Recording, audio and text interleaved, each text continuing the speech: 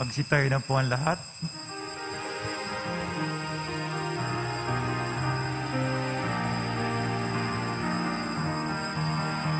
Singawit kayo sa Panginoon ng isang bagong awitin.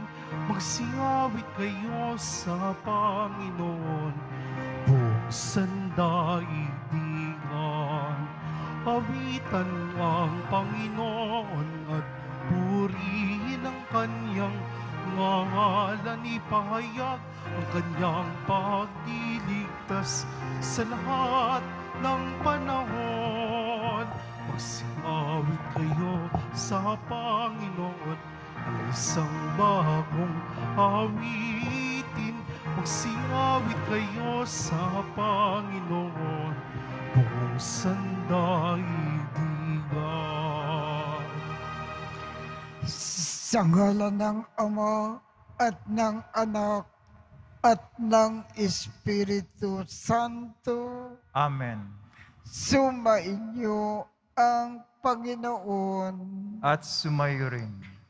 Aminin natin ang ating mga kasalanan upang tayo ay maging marapat gumanap sa banal na pagdiriwang. Panginoong Jesus, binigyan mo kami ng bagong buhay. Panginoon, kaawaan mo kami. Panginoon, kaawaan mo kami. Panginoong Jesus, pinapatawad mo ang aming mga kasalanan. Kristo, kaawaan mo kami. Kristo, kaawaan mo kami. Panginoong Jesus, binabahagi mo sa amin ang iyong katawan at dugo sa Eukaristiya. Panginoon, kaawaan mo kami. Panginoon, kaawaan mo kami. Kaawaan tayo ng Diyos amang makapangyarihan. Patawarin ang ating mga kasalanan at patnubayan tayo sa buhay na walang hanggan. Amen. Manalangin tayo. Ama naming makapangyarihan, manatili kang kapiling ng iyong sambayanan na iyong laging kinakakabagan at pinagbibigyan upang ang itinampok ng iyong pamumuno at pagsubaybay ay muli mong ikalugod at panatilihin mong kinalulugdan sa pamamagitan ni Yesu Kristo kasama ng Espiritu Santo magpasawalang hanggan. Amen. Magsiyo po muna ang lahat. Pagbasa mula sa aklat ni Propeta Jeremias. Kinausap ng Panginoon si Jeremias at ito ang sinabi, Isulat mong lahat ang sinabi ko sa iyo. Ito ang sabi ng Panginoon sa kanyang bayan. Wala ng lunas ang iyong sakit Mabigat ang pinsalang dinanas mo. Walang kagamutan sa iyong sugat. Wala ka ng pag-asang gumaling pa. Nilimot ka na ng lahat ng kaibigan mo. Wala na silang malasakit sa iyo. Ika'y hinampas ko gaya ng pagsalakay ng isang kaaway. Buong lupit kitang pinarusahan sapagkat matindi ang iyong kasamaan at napakarami mong kasalanan. Huwag ka nang dumaing dahil sa iyong sakit. Wala nang lunas ang sugat mo. Ginawa ko ito sa iyo sapagkat napakalaki ng iyong kasamaan at napakarami mong kasalanan. Sinabi pa rin ng Panginoon, Muli kong ibabangon ang lipi ni Jacob. Pagpapalain ko ang bawat ang kanya. Bawat lunsod na winasak ay muling itatayo at ititindig ang bawat gusali. Ang mga tao roon ay aawit ng pagpupuri at magkakaingay sa tuwa. Sila'y aking pararamihin. Pararangalan ko sila at wala nang hahamak sa kanila. Ibabalik ko ang kanilang kapangyarihan at sila'y magiging matatag sa harapan ko. Parurusahan ko ang lahat ng mga api sa kanila. Lilitaw ang isang pangulo na mula rin sa kanila. Aanyanyahan ko siya, kaya siya na may lalapit sa akin, sapagkat walang mga ngahas na kusang lumapit sa akin. Kaya nga, sila'y magiging aking bayan, at ako ang magiging kanilang Diyos. Ang salita ng Diyos. Salamat sa Diyos. Panginooy mahayag kapag siyon ay natatag. Panginooy mahayag kapag siyon ay natatag. Ang lahat ng bansa sa poon ay takot, maging mga hari sa buong sansinukob. Kung iyong itayong pamuli ang siyon, ikay mahayag doon, Panginoon. Daing ng mahirap ay iyong diringgin, di mo tatanggihan ang kanilang daing. Panginooy mahayag kapag siyon ay natatag. Ito'y matititik upang matunghayan ng sunod na lahing di pa dumaratal. Ikaw nga, O poon, ay papupurihan. Mula sa itaas, luklukan mong banal. Ang lahat sa lupa'y iyong minamasdan. Iyong dinirinig ang pagtataghuyan na mga bilanggong ang hatol ay bitay upang palayain sa hirap na taglay. Panginooy mahayag kapag siyon ay natatag. Ang mga anak ng iyong mga lingkod, mamumuhay namang panatag ang loob. Magiging matatag ang kanilang angkan, sa pag-iingat mo sila ay tatagal. Ano pat ang iyong ngalay mahayag, sa Siyon o poon, ikay ibabansag.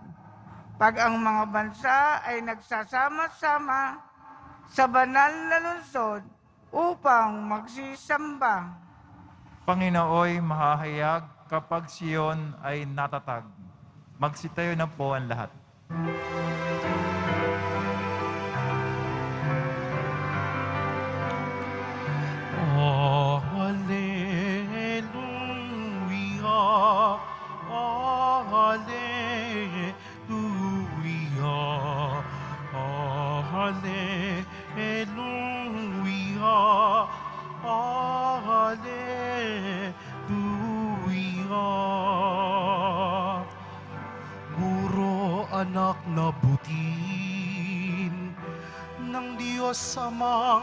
amang masintahin, ika'y hari ng Israel. Oh,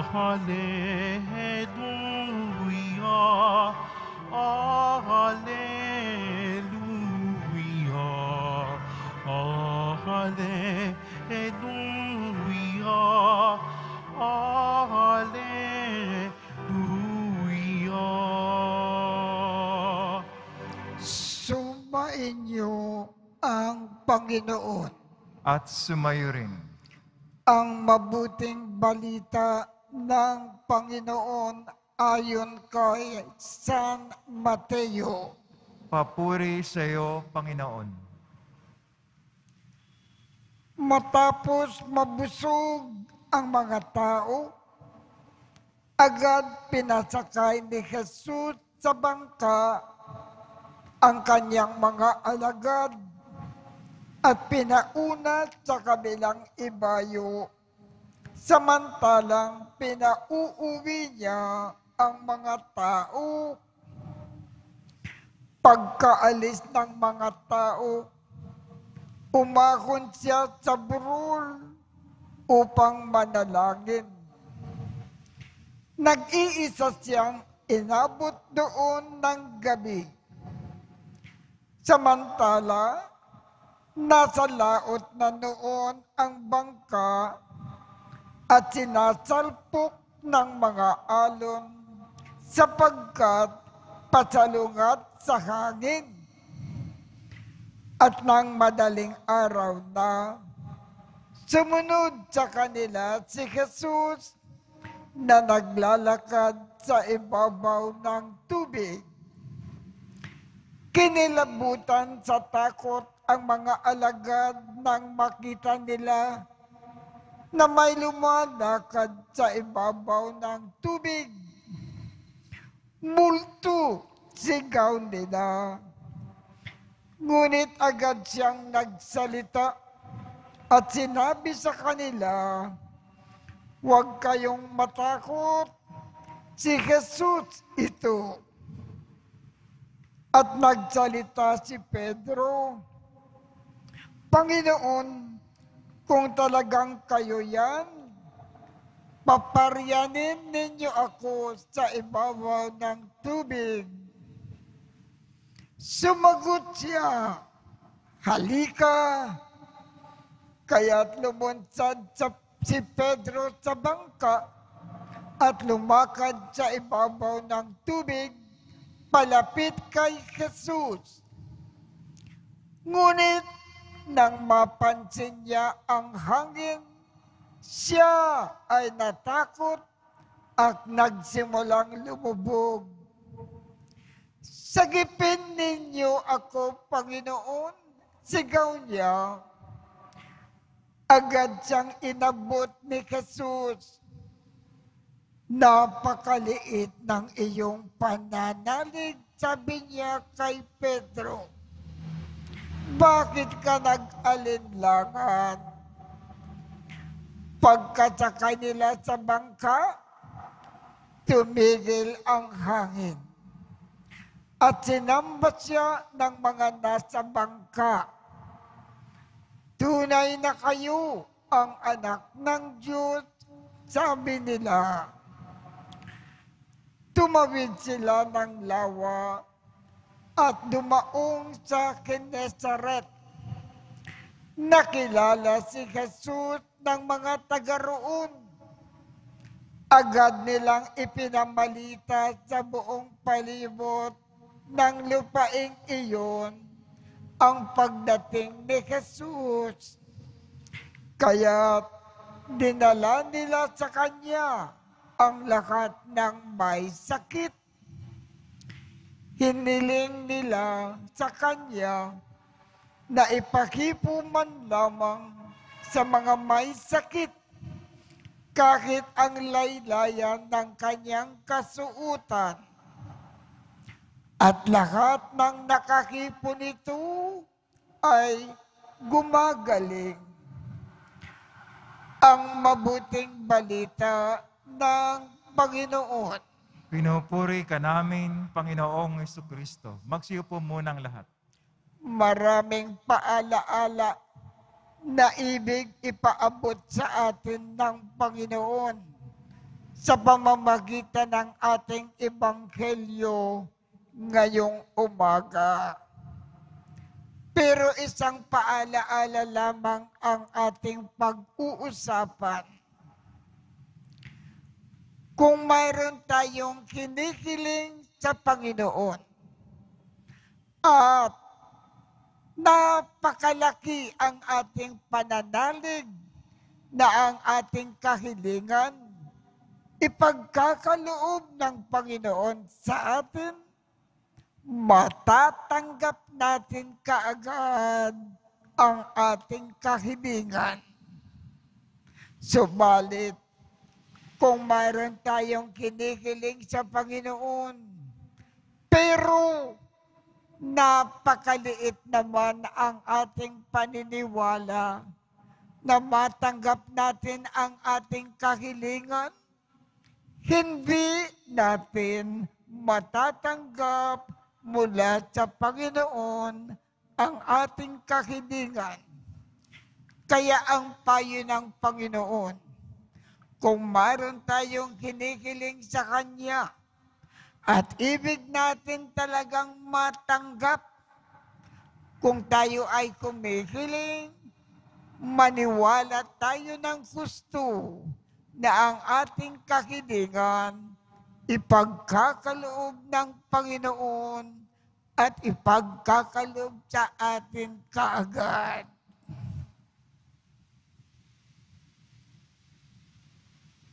Magsitayo na po ang lahat.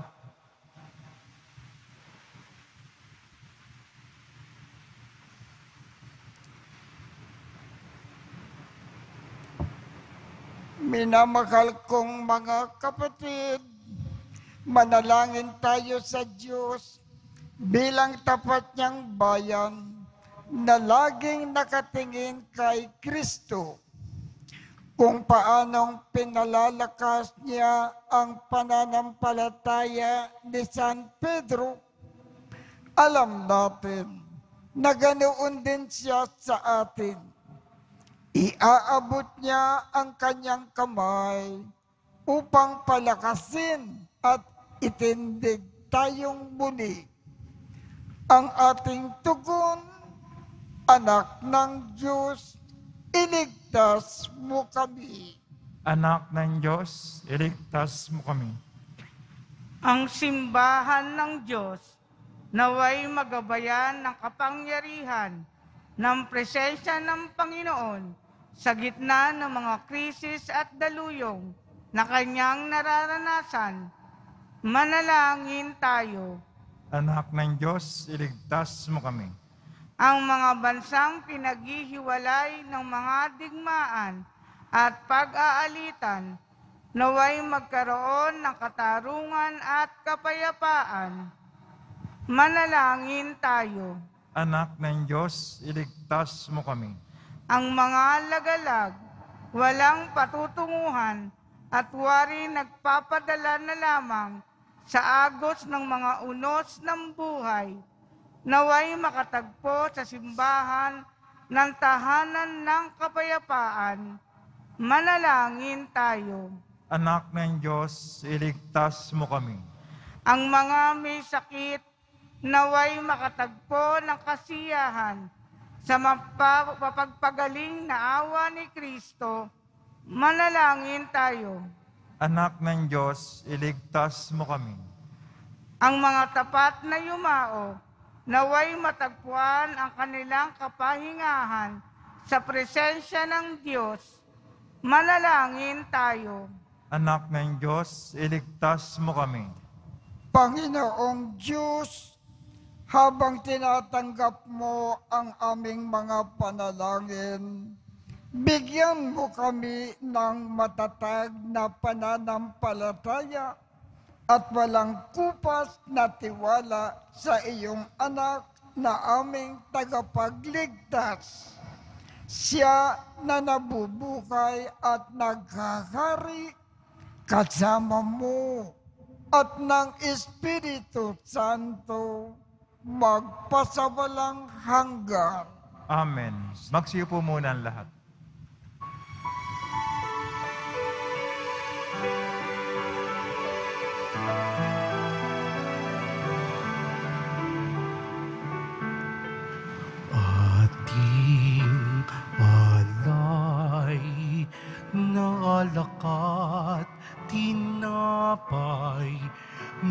Mula sa ating ani sa lupain ng Diyos nating mahal na siya na rin nagdulot na tayo'y may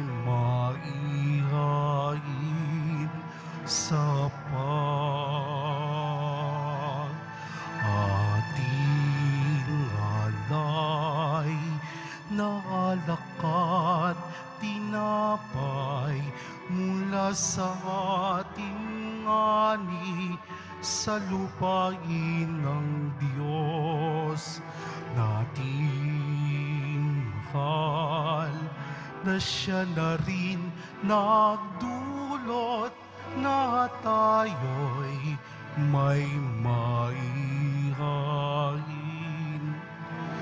sa hapag.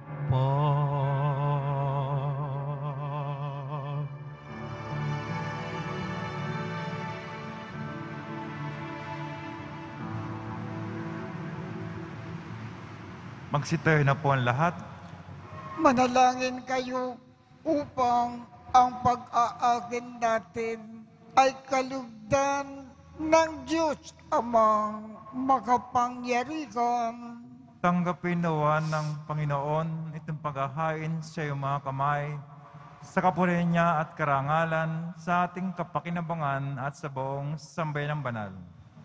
Ama naming lumikha, para mo ng awa, gawin mong banal ang mga alay namin na iyo sanang kalugdan at kami ay gawin mo na aking sa iyo ay laging nakalaan sa pamamagitan ni Yesu Kristo kasama ng Espiritu Santo magpasawalang hanggan.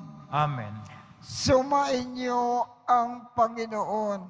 At sumayo rin. Itaas sa Diyos ang inyong puso at diwa. Dinaas na namin sa Panginoon. Pasalamatan natin ang Panginoong ating Diyos. Marapat na siya ay pasalamatan. Ama naming makapangyarihan, tunay ngang marapat na ikaw ay aming pasalamatan sa iyong paglingap at kagandakang loob. Ang tao ay nilikha mo at pinangangasiwa sa sansinukob. Sa hangad mo na siya ay iwastong lubos, siya ay pinagdusa mo sa kanyang pagtalikod. Sa iyong paggiliw, iyong ipinakintulot na makabalik siya sa pamamagitan ni Kristo Jesus. Kaya kaisa ng mga anghel na nagsisiawit ng papuri sa iyo nang walang kumpay sa kalangitan, kami ay nagbubunyi sa iyong kadakilaan. Santo, Santo, Santo, Panginoon Diyos ng mga hukbo, napupuno ang langit at lupa ng kadakilaan mo, o sana sa kaitaasan. Pinagpala na paririto sa ngalan ng Panginoon, o sana sa kaitaasan. Magsilod po ang lahat. Ama naming banal, ikaw ang bukal ng tanang kabanalan.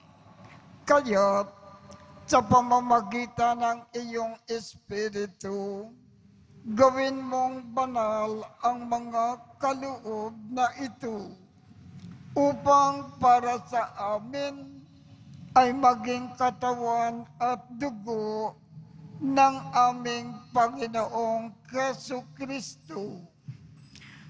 Bago niya pinagtiis ang kusang loob na maging handog, hinawakan niya ang tinapay, pinasalamatan kanya, pinaghati-hati niya iyon, iniabot sa kanyang mga alagad at sinabi, Tanggapin ninyong lakat ito at kanin.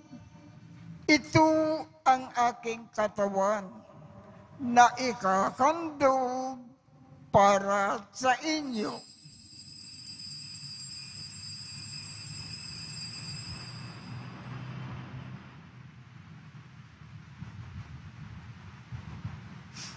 Gayon din naman, noong matapos ang hapunan, hinawakan niya ang kalis Muli kanyang pinasalamatan.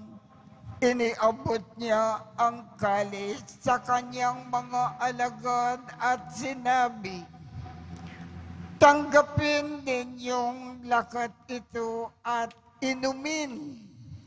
Ito ang kalis ng aking dugo, ng bago at walang hanggang tipan. Ang aking dugo na ibubuhos para sa inyo at para sa lahat sa ikapagpapatawad ng mga kasalanan. Gawin ninyo ito sa pag-alaala sa akin.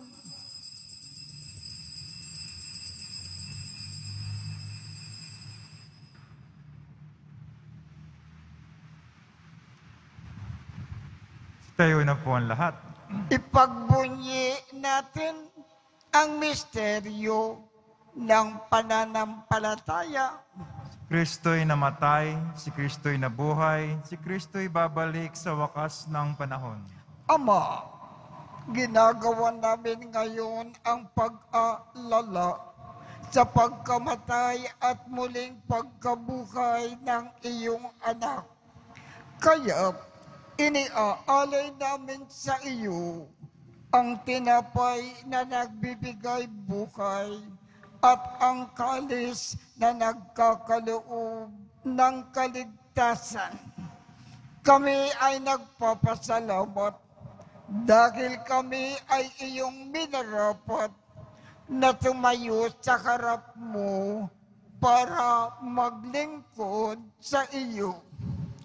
Isinasamo namin kaming magsasalo-salo sa katawan at dugo ni Kristo ay mabuklod sa pagkakaisa sa pamamagitan ng Espiritu Santo.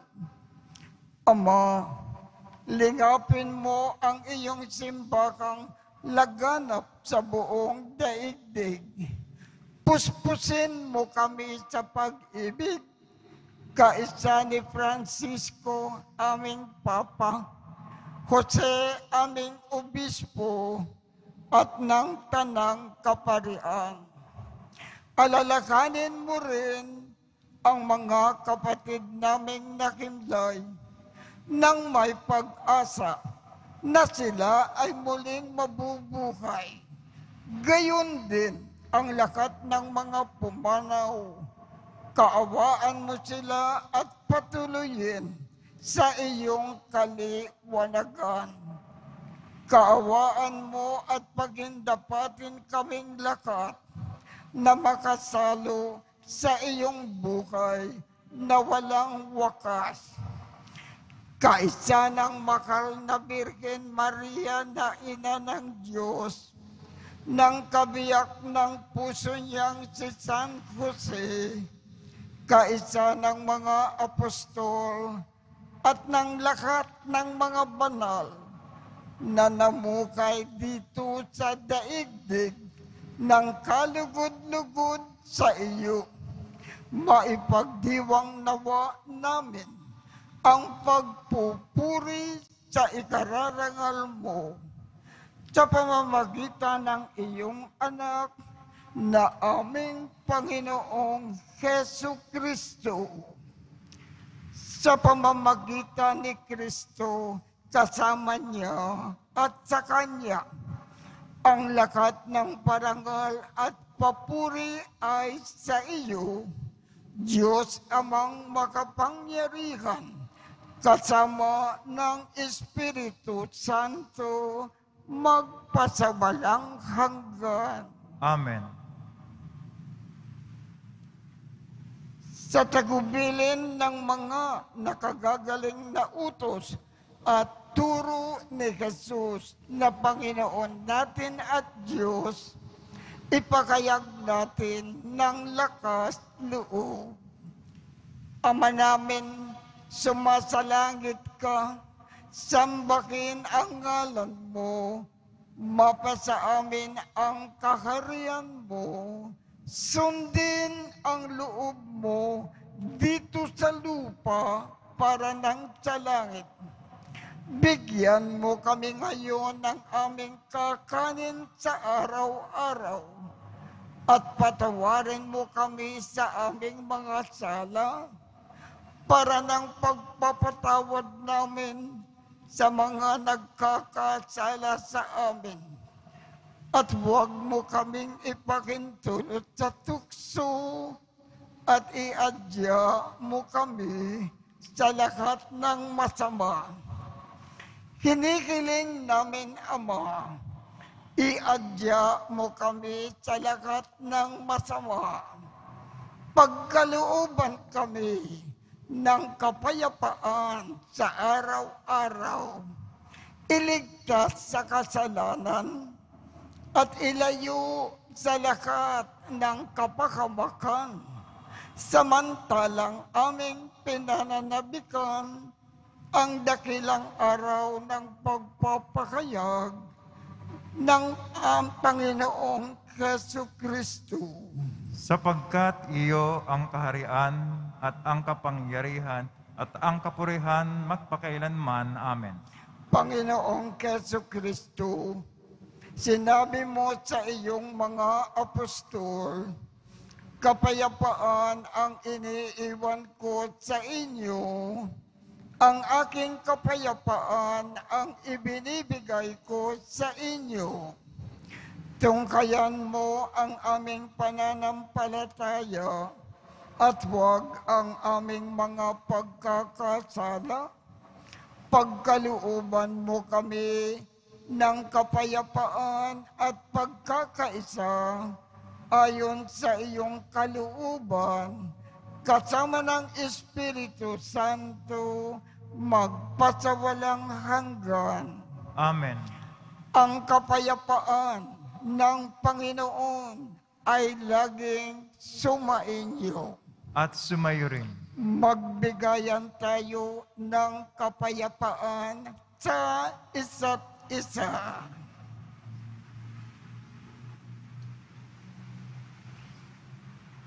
Kordero ng Diyos na nagalis ng mga kasalanan sa libutan, maawa ka sa amin. Kordero ng Diyos na nagalis ng mga kasalanan sa libutan, maawa ka sa amin. Kordero ng Diyos na nagalis ng mga kasalanan sa libutan, ipagkalob mo sa amin ang kapayapaan. Magsilod po ang lahat. Ito ang kordero ng Diyos. Ito ang nag-aalis ng mga kasalanan ng sanlibutan. Mapalad ang mga inaanyayahan sa kanyang piging. Panginoon, hindi ako karapat dapat na magpatuloy sa iyo, ngunit sa isang salita mo lamang ay gagaling na ako.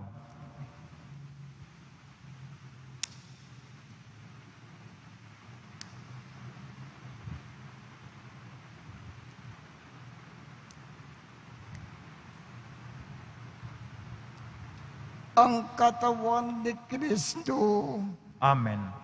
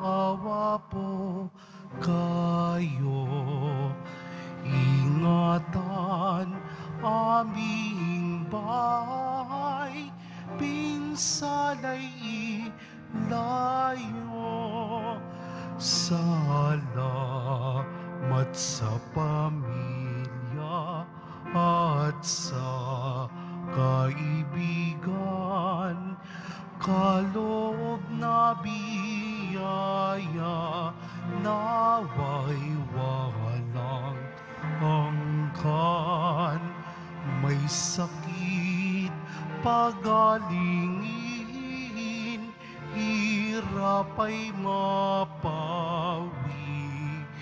Amin pong panalangin, langit ay mabawi.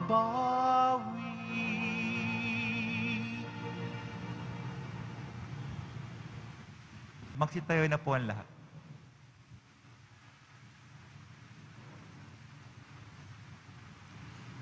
Manalangin tayo, Ama naming mapagmakal, kaming pinapagtsalo mo sa banal na pakikinabang ay iyong tuwangan sa ginagawa namin sa araw-araw upang kaming hindi mo pinagkakaitan ng pagsubaybay ay gawin mong maging marapat sa lubos na kaligtasan sa pamamagitan ni Keso Kristo kasama ng Espiritu Santo magpasawalang hanggan.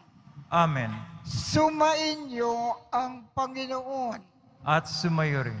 at pagpalain kayong lahat ng makapangyarihang Diyos, Ama, Anak, at Espiritu Santo. Amen. Tapos na po ang misa. Humayo tayong mapayapa. Salamat sa Diyos.